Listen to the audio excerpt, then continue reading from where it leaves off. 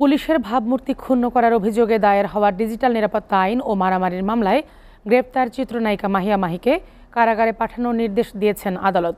Gazipur metropolitan magistrate আদালতের বিচারক মোহাম্মদ ইকবাল হোসেন তাকে কারাগারে পাঠানোর আদেশ দেন।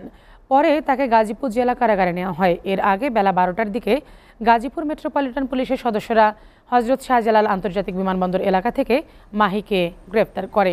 এর আগে ওমরাহ পালন করতে যাওয়া মাহি সৌদি আরবের মক্কা শহর থেকে শুক্রবার ভোরে ফেসবুক লাইভে আসেন।